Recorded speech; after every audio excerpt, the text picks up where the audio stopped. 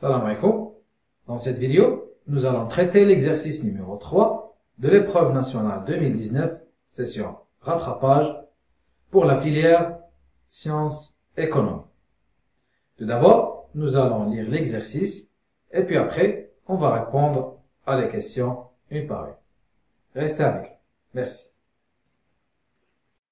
Alors, l'exercice numéro 3, avec 11 points et demi, on considère la fonction numérique f de la variable réelle x définie sur l'intervalle 0 plus l'infini ouvert de deux côtés par f de x est égal à 1 moins ln de x, le tout facteur de ln de x, avec sa courbe CF représentative dans un repère orthonormé. Alors la première question, on nous demande de calculer la limite lorsque x tend vers à 0 avec x supérieur à 0 de la fonction f de x puis donner une interprétation géométrique au résultat. Deuxièmement, on va calculer la limite lorsque x tend vers plus l'infini de la fonction f de x. On admet que la limite lorsque x tend vers plus l'infini de ln de x le tout carré sur x est égal à 0. Donc cette limite-là, on aura besoin dans notre calcul. On nous demande ici de calculer la limite lorsque x tend vers plus l'infini de f de x sur x, puis donner une interprétation géométrique au résultat on montre que pour tout x de 0 plus l'infini, on a la fonction dérivée donnée comme suite. Puis, pour le 3b, montrons que f est croissante sur l'intervalle 0 racine de e et qu'elle est décroissante sur l'intervalle racine de e plus l'infini. On va calculer l'image de racine de e par la fonction f et puis nous allons dresser le tableau de variation de la fonction f on, va résoudre l'équation pardon, f de x égale à 0 et on va déduire les coordonnées des points d'intersection de CF avec les axes, avec l'axe des abscisses. Puis, on va donner l'équation de la tangente à la courbe au point x0 égale à 1. On va montrer, ici on a la fonction dérivée seconde, f seconde de x égale à 1 sur x au carré, facteur de n de x moins 3. On va montrer que le point donné ici, de coordonnée A, l'exponentielle pardon, de 3 sur 2, moins 3 sur 4, est un point d'inflexion de CF. Et puis, nous avons une figure où est représentée la fonction f, donc c'est la courbe électronique comme ici, et puis on nous donne une fonction grand F qui est définie par grand F de x égale à moins x ln de x le tout carré, plus 3x ln de x moins 3x. On va montrer que grand F est une primitive de petit f, et puis à partir de la courbe, donc, on va donner les variations de f sur l'intervalle 0 plus l'infini. Donc ici, on va déterminer les variations de la fonction grand f à partir du graphe, et pas de la petite, petite f de x. C'est bon? Donc ici, il faut euh, faire la différence entre petit f de x, que sa courbe, c'est celle-ci, et grand f de x qu'on nous a donné son expression. On va montrer que c'est une primitive de la fonction petit f. Et dernièrement, on va calculer l'aire de la partie assurée. Alors on commence. Donc, on considère la fonction f de x 1 moins ln de x facteur de ln de x. On va calculer limite lorsque x tend vers 0 plus. Et puis, on interprète le résultat géométriquement. Alors, pour le calcul de la limite de f de x lorsque x tend vers 0 donc on a ici 1 moins n de x facteur de n de x. On sait que la limite lorsque x tend vers 0 plus de n de x, ce n'est rien d'autre que moins l'infini. Multiplions pas, multiplions la part le signe moins, on trouve plus l'infini. Maintenant, en lui ajoutant le 1, ça reste toujours plus l'infini.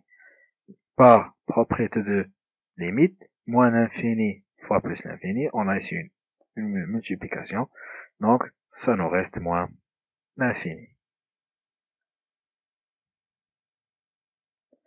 Alors maintenant, pour l'interprétation géométrique, on a trouvé que la limite lorsque x tend vers 0 avec x supérieur strictement à 0 de f de x est égale à moins l'infini, alors on déduit que la courbe admet une asymptote qui est verticale d'équation x égale à 0. Maintenant, calculons la limite lorsque x tend vers plus l'infini.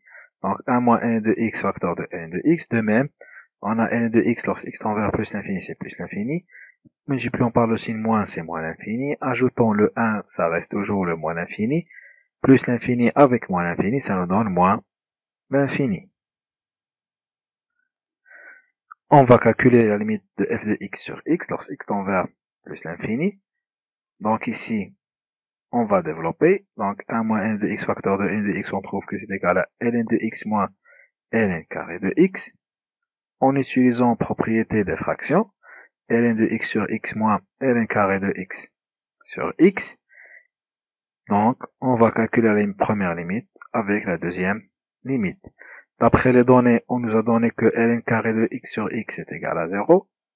Par cours, donc on a limite de x tend vers plus l'infini de ln de x sur x est égal à 0. Alors finalement, on trouve que f de x sur x, sa limite lorsque x tend vers plus l'infini est égal à 0. Alors ici, comme interprétation géométrique, on a trouvé que la limite lorsque x tend vers plus l'infini de f de x est égal à moins l'infini.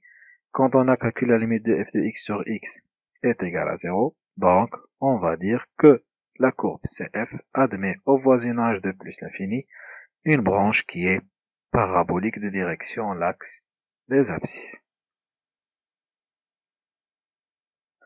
Alors maintenant, on va montrer l'expression de la fonction dérivée, f' de x. Alors on a f, c'est une fonction qui est définie sur 0 plus l'infini par a moins ln de x, le tout facteur de ln de x. C'est une fonction qui est dérivable sur le même intervalle, alors on peut calculer sa dérivée. On a ici 1 moins ln de x ln de x. On va le développer, on trouve que c'est égal à ln de x moins ln carré de x. On va calculer la dérivée. Donc ici on a la dérivée de n de x, ici on a la dérivée de ln carré de x. Vous pouvez utiliser d'autres méthodes, comme par exemple le produit de deux fonctions. Alors ici, on a la propriété de alors ici, on a la propriété de, euh, euh, la dérivée de puissance. On a u à la puissance n prime, ce n'est rien d'autre que n u prime facteur de u à la puissance n moins 1. Avec la dérivée de n de x, c'est égal à 1 sur x. Alors, on trouve notre résultat. Et que la dérivée de n de x toujours c'est 1 sur x. Donc, on factorise par 1 sur x et on obtient 1 moins 2 ln de x. D'où le résultat demandé. Alors maintenant, on va étudier les variations de la fonction f. On a, d'après la question précédente, on a f' de x est égal à 1 sur x facteur de 1 moins de ln de x. Alors le signe de f' de x, ce n'est rien d'autre que celui de 1 moins 2 ln de x. Parce que x appartient à l'intervalle 0 plus l'infini, donc 1 sur x, c'est une valeur qui est Alors, on va résoudre tout d'abord l'équation égale à 0. Donc, on trouve ln de x égale à 1 sur 2, d'où x est égal à l'exponentielle de 1 sur 2. On a l'exponentielle de 1 sur 2, ce n'est rien d'autre que racine de e, par propriété de puissance, a à la puissance 1 sur 2, ce n'est rien d'autre que racine de a, avec le a qui est positif. Donc maintenant, 1 moins 2 ln de x est négatif, si et seulement si, toujours on trouve que le x est supérieur à racine de e. Maintenant, 1 moins 2 n de x est positif, si et seulement si, toujours on a le x est inférieur à racine de e. Alors ici, 1 moins n de x est négatif, c'est-à-dire que notre f' est négatif si le x est supérieur à racine de e. On le met dans le tableau. De même, on a trouvé que 1 moins 2 n de x est négatif si il appartient à l'intervalle racine de e plus l'infini d'où le signe de f' de x.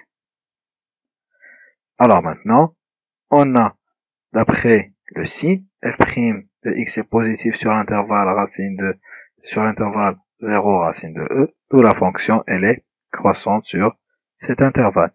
Et puis on a trouvé sur l'autre intervalle, racine de e plus l'infini, que notre fonction f' de x, elle est négative, alors la fonction, elle est décroissante. D'où la réponse à cette question. Maintenant, on nous demande de calculer l'image de racine de E, puis dresser le tableau de variation. Dans la question précédente, on nous a demandé seulement de euh, voir ou de vérifier les variations de la fonction f. Maintenant, on nous demande de dresser le tableau de variation.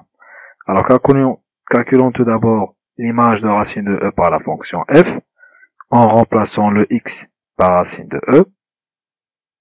On a ici ln de racine de e, ce n'est rien d'autre que ln de e à la puissance 1 sur 2. En appliquant la propriété de ln, ln de a à la puissance n, ce n'est rien d'autre que n ln de a, avec ln de e est égal à 1. Donc on trouve finalement 1 sur 2. Maintenant, en remplaçant dans la formule de f de racine de e, on trouve 1 moins 1 sur 2, facteur de 1 sur 2, qui est égal à 1 sur 4.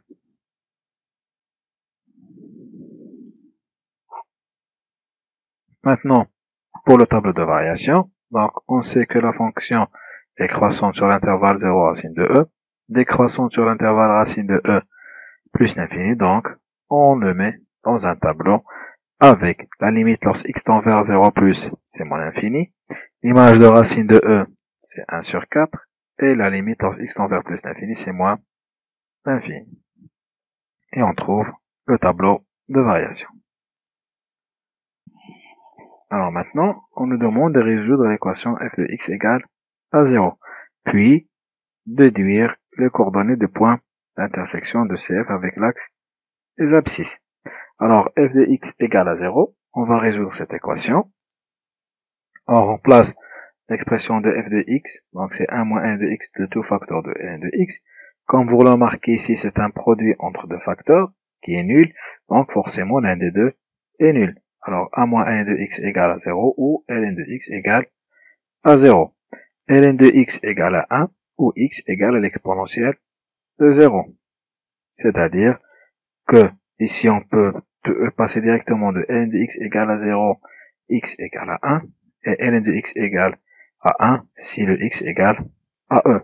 Alors notre fonction, notre pardon, alors notre équation f de x égale à 0 admet deux solutions qui sont x égale à e et x égale à 1. Maintenant pour les coordonnées des points d'intersection de CF avec l'axe des abscisses, ce ne sont que les solutions de l'équation f de x égale à 0. Donc, c'est simplement les deux points E0, 1, 0. Alors maintenant, on va donner l'équation de la tangente à la courbe CF au point d'abscisse x0 égale à 1. Tout d'abord, on a l'expression de la tangente donnée par y égale à f' de x0, facteur de x moins x0 plus f de x0. Une équation de la tangente, donc ici le point est égal à 1, on va remplacer le x0 par 1. Et on trouve y égale à f' de 1, facteur de x moins 1 plus f de 1. En calculant f' de 1 par son expression, et l'image de 1 par la fonction f dans son expression, on trouve que c'est égal à 0. En remplaçant, on trouve que y égale à x moins 1, c'est une équation de la tangente au point x0 égale à 1. Alors maintenant, on va calculer la dérivée seconde. On a l'expression de f' de x, comme vous l'avez remarqué, donc c'est une fonction qui est dérivable sur l'intervalle 0 plus l'infini.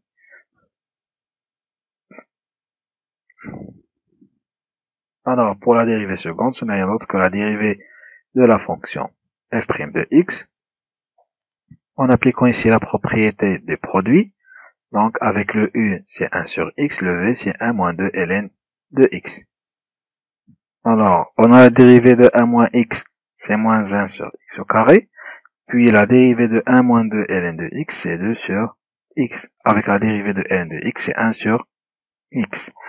Alors, on trouve par factorisation de 1 sur x au carré, moins 1 plus 2 ln de x moins 2. En calcul, on trouve le 2 ln de x moins 3 facteur de 1 sur x au carré, d'où le résultat demandé.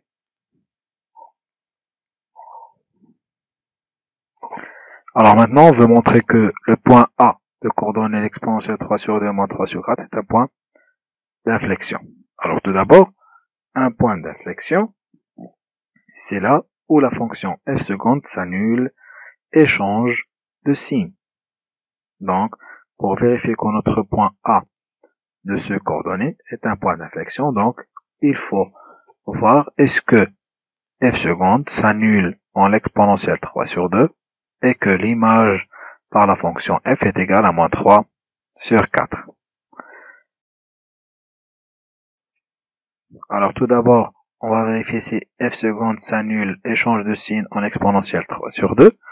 Donc, on va calculer l'image de l'exponentielle 3 sur 2 par la fonction f seconde, déjà calculée. On remplace par 3 sur 2. Attention ici pour ne pas faire d'erreur dans l'écriture. Donc ici, on a l'exponentielle 3 sur 2, le tout au carré. Parce qu'ici, le x, on l'a remplacé par l'exponentielle 3 sur 2.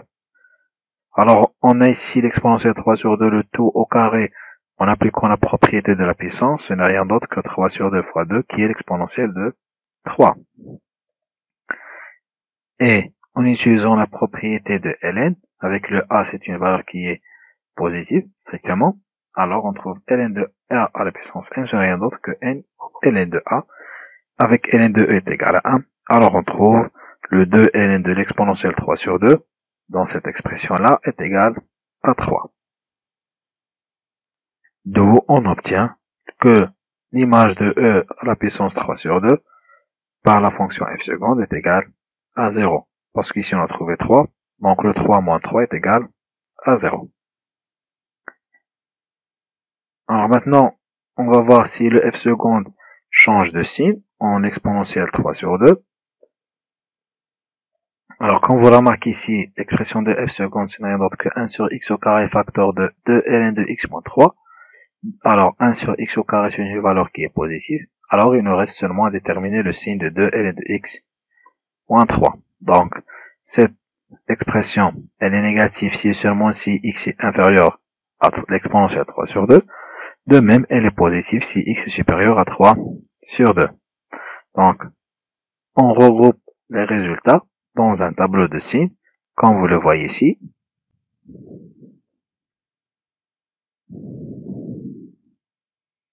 Alors, on peut déduire que le f seconde, comme vous le voyez ici, change de signe et s'annule en l'exponentielle 3 sur 2. Donc, on peut affirmer ici qu'il existe un point d'inflexion.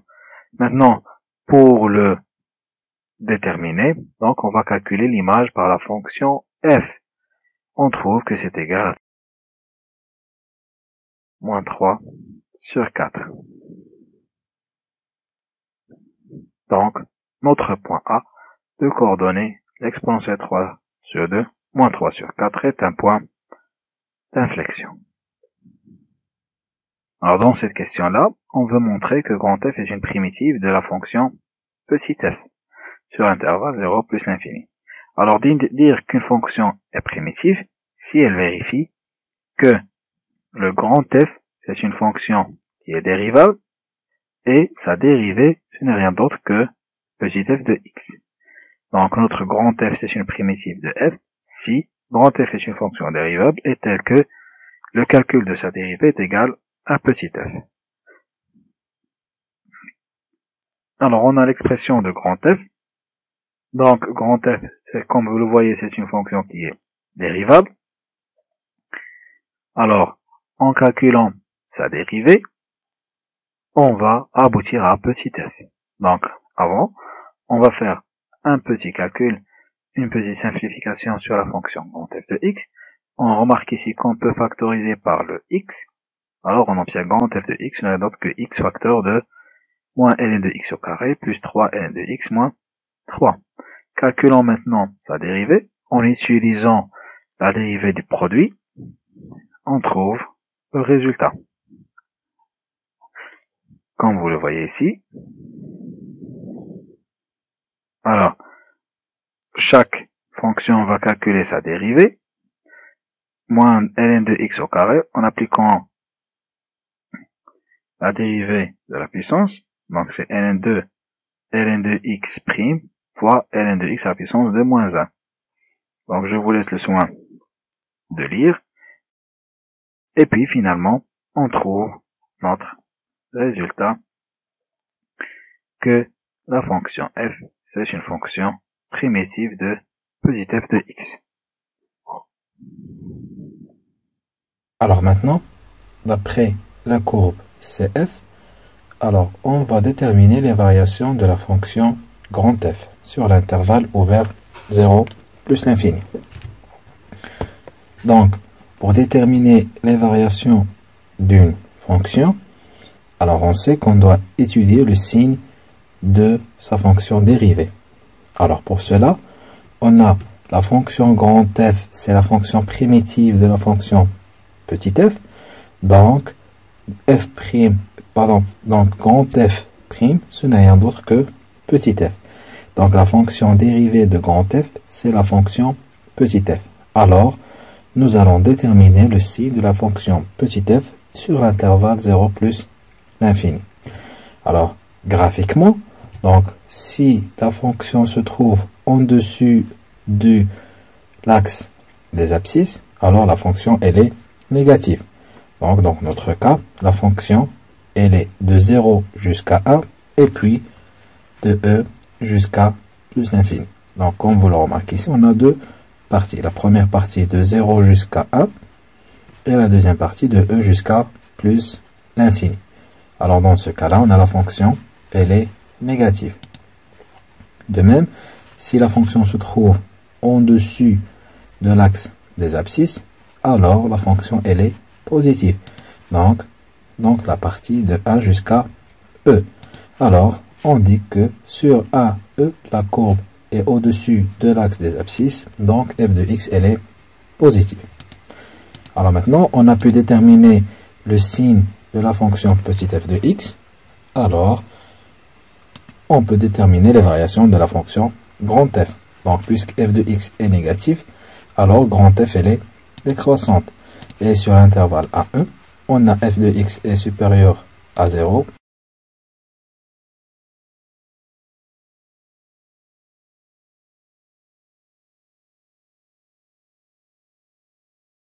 Donc la fonction f, elle est croissante. Donc on a pu déterminer les variations de la fonction grand f sur l'intervalle 0 plus l'infini. Alors maintenant, on nous demande de calculer l'aire de la partie assurée. Donc cette partie-là qui se trouve entre l'axe des abscisses et la courbe CF et les deux droites x égale à 1 et x égale à e. Cela en unité d'air. Donc, on sait que l'air, ce n'est rien d'autre que l'intégrale de la valeur absolue de la fonction f de x dx par unité d'air. Alors, on sait que sur l'intervalle 1e, on a la fonction, elle est positive, d'où l'intégrale. Donc, on peut remplacer la valeur absolue de f de x par f de x. Alors, pour le calcul de l'intégrale de 1e de la fonction f de x, alors ce n'est rien d'autre que sa fonction primitive grand f de x. D'où on trouve que c'est l'image de E par grand F moins F de 1. Par calcul, on trouve que c'est égal à moins E moins moins 3. Ce n'est rien d'autre que 3 moins E. Alors, on peut dire que l'air de la surface assurée est égal à 3 moins E unité d'air. Alors, comme vous venez de le voir, on a traité l'exercice numéro 3 de l'épreuve nationale 2019, session rattrapage. Je vous tiens rendez-vous pour une autre correction d'un autre exercice de notre épreuve. Merci. D'ici là, bon courage.